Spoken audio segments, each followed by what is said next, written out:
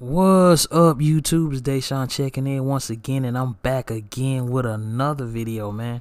Hey, man, if you're new to the channel, man, and you're feeling the vibes, comment down below, hit that bell, and subscribe. You already know what time it is, man.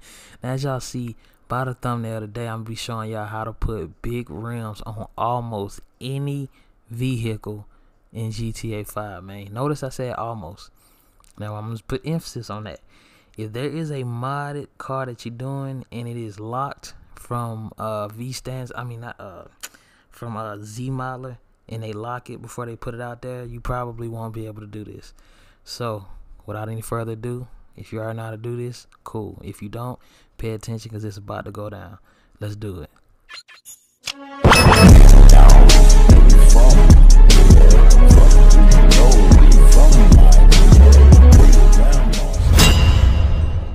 Alright y'all, we back. So first thing we want to do is go into our internet section, GTA5mods.com. Of course, you already know. Oh wow, what is that's Dorothy from uh Twister. that's funny. That's funny. anyway, back on track. So we want to go ahead and hit the search button. We want to go ahead and type in VStancer. Just like that. Let me move that cursor. VStancer, just like that. And what you're looking for is this guy right here. It's going to be like a beat up Pinto with some yellow lights. Alright. Everybody see that? Cool. Let's do it. So, this is version 0.2.5. That's the latest version. Now, remember I said never come here always scroll down here to your current version. And this as you can see has had a lot of updates which means the developer IKT big shouts out to IKT if y'all come on here make sure y'all like follow update bookmarks all that good stuff. You know what I'm saying? They they they pretty much got you one right here. This is a good one. So go ahead and support. All right. I don't know if it's a girl or boy but y'all go ahead and support man. All right. So basically this lets y'all know that they working that they care Alright, they constantly upgrading it, updating it. The last update was July 4th, 2020, so they ain't had no, you know, no issues since then. Now, as as always, come to the comments, scroll down to the bottom of the comments, just to make sure everything is good with this mod. There's no issues, not crashing anybody's computer. Woo woo woo. Alright, cool. So let's go ahead and hit the download button. Once that download right there, that's all we need from here, guys. So let's go ahead and exit out of the internet and we want to pull up our GTA 5 directory. Go here, which it should be bookmarked.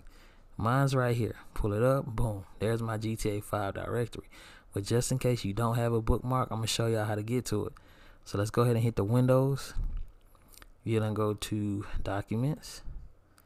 Alright, right over here on the side. Wherever you downloaded your GTA 5 game at, normally it, it, it automatically downloads to C.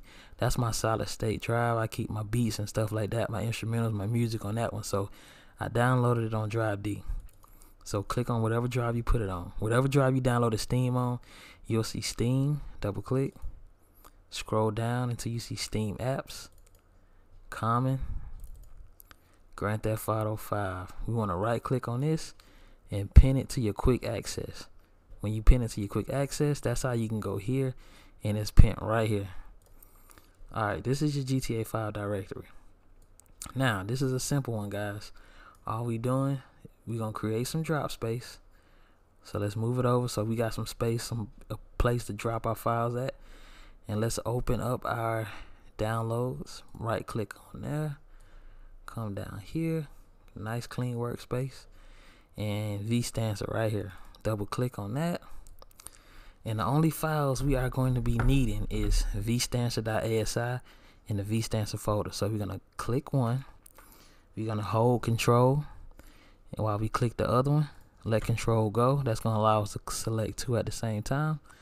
And we're going to drag and just drop over here in our GTA directory let it go. Now I already have them so I'm not going to replace them but if you're doing this for the first time then you won't get this message. It'll automatically drop and you good to go. Once you guys do that, let's jump in the game and I'm gonna show y'all how to do this, man. Alright, so I got two vehicles already ready for y'all, man. We got a 2021 Chevy Tahoe, fresh off the lot, that we gonna put some uh we gonna do like some 30 some 32s or some 34s on this one. Alright.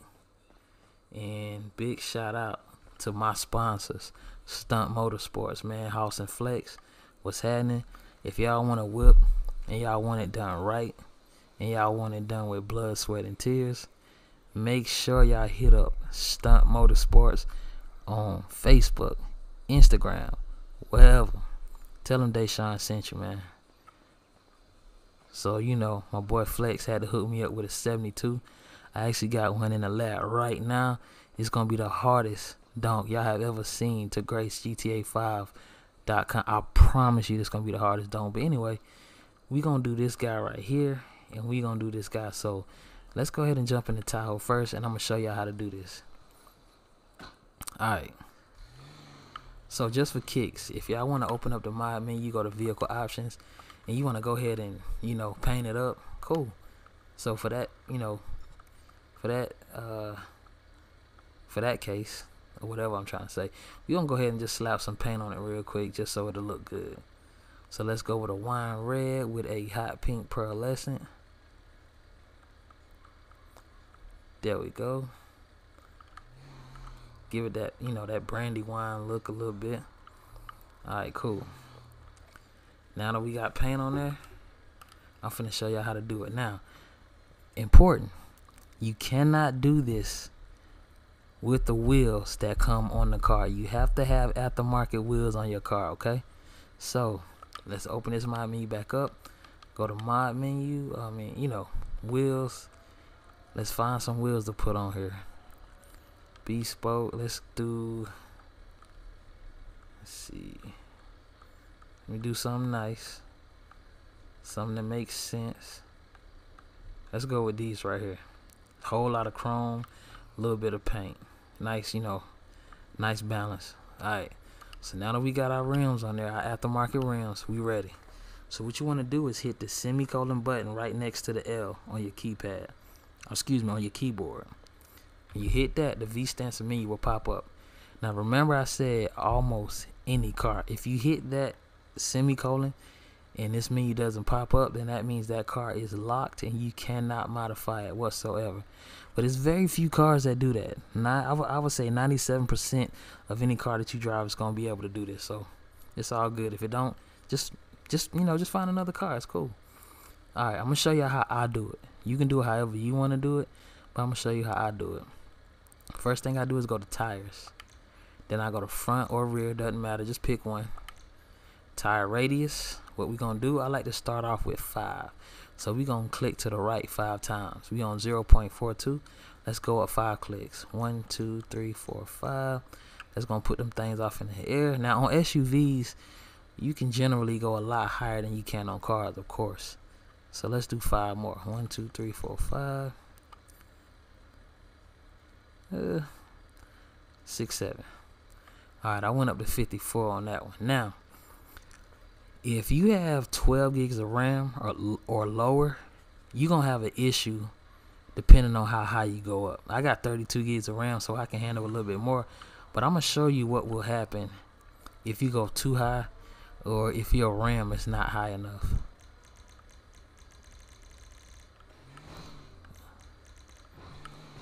you're gonna start having issues like this. The wheel's gonna be jumping like crazy.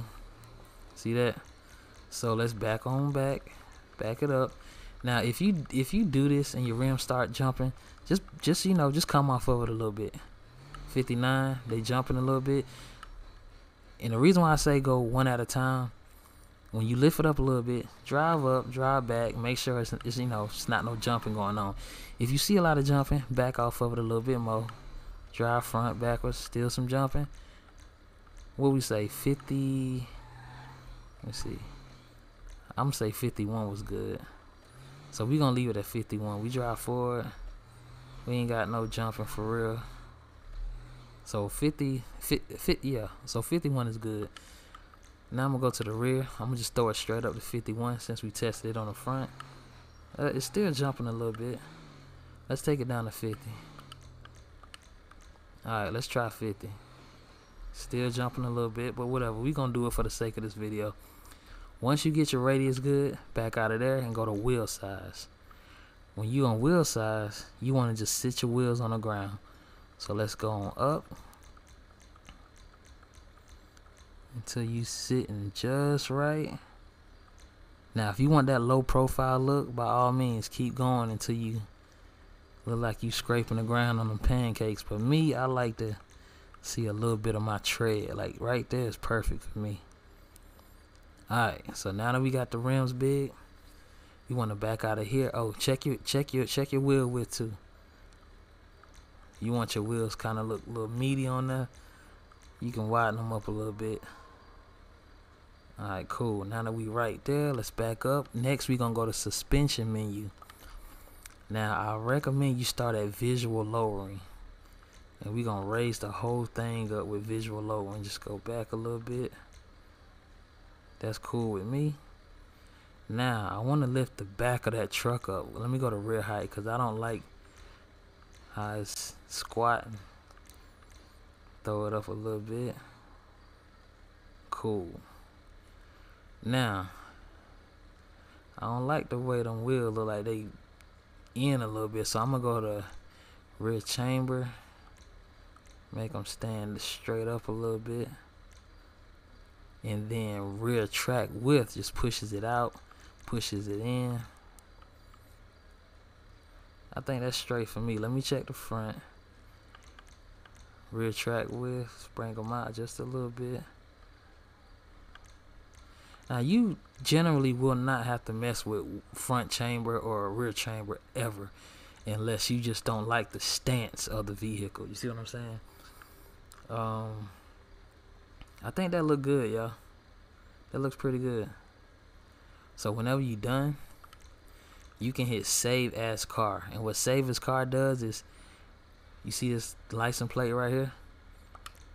it's gonna save it to the license plate. So basically, anytime you get into this truck again, it'll automatically make your wheels go up big again. You see, like, see what I'm saying? So no matter what you do, if you wreck this car, trash it, when you hop back in it again, the wheels gonna go right back to the size they was.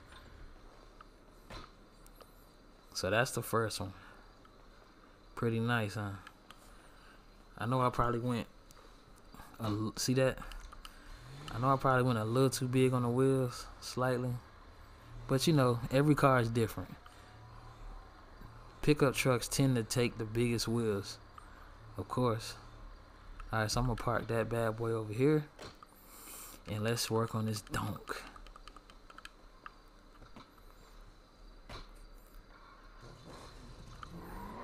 This is my dream car, of course. Alright. Let's go and throw this thing in the air, y'all. Alright, let's go to vehicle options. Wheels. What wheels we gonna put on here? Let's see.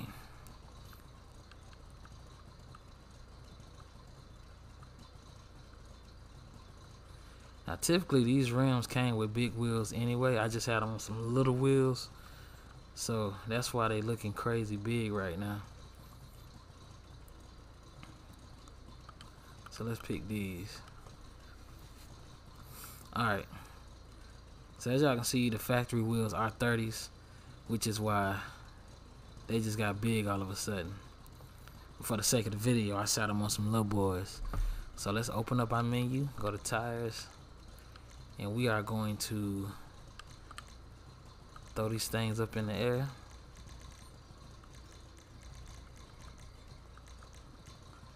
Throw them up about right there.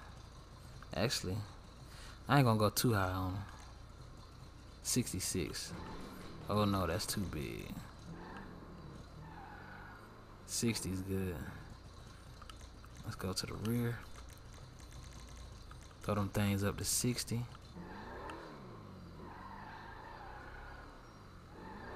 Alright, no jumping. Cool, cool, cool. Alright, now. Let's go to suspension menu. Visual lowering.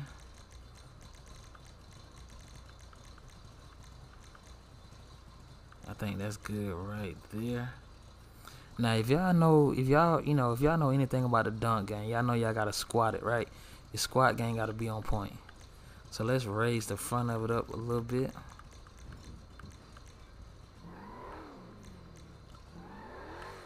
That's sitting up pretty high. Now we're gonna squat the back of it. You wanna get as close to that center cap as possible. Y'all from Miami. Y'all know. Y'all gotta squat that thing to the center cap, man. Now that's a real don't squat right there. I think that's good, man. Y'all see how the tires kind of in a little bit? So let's mess with that front chamber. Let's keep straight. Actually, let me go back to tires and make that width a little bit more beefier. Alright. Now let's go back to suspension. Track width.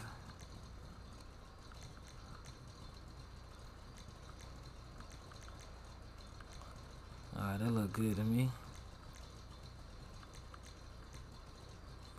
Alright, let's check out that back. Back is fine to me.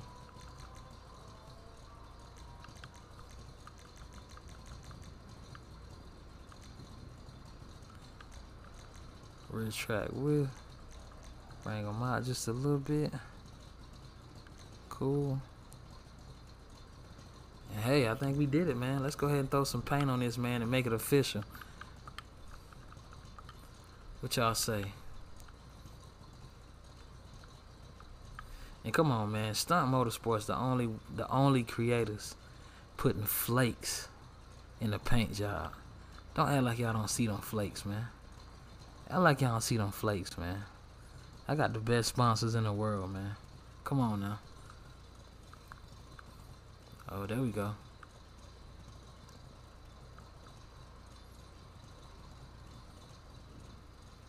It's finna rain on us, man, so we gotta hurry up and end this video. Alright, let's go ahead and throw uh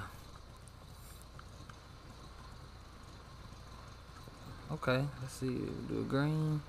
What we doing, y'all? What we doing? What, what color we doing, y'all? What color we doing? It's raining on us, man. What we doing, y'all? Let's go with the hot pink, too. Alright.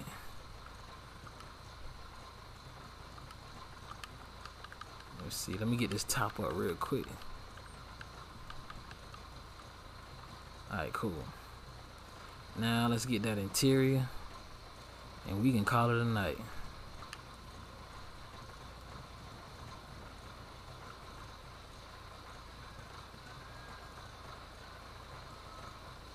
But anyway, y'all get the drift, man. If y'all found this video helpful, please comment down below. Hit that sub button. Y'all check me out, man. But until next time, we out of here, man. Y'all enjoy.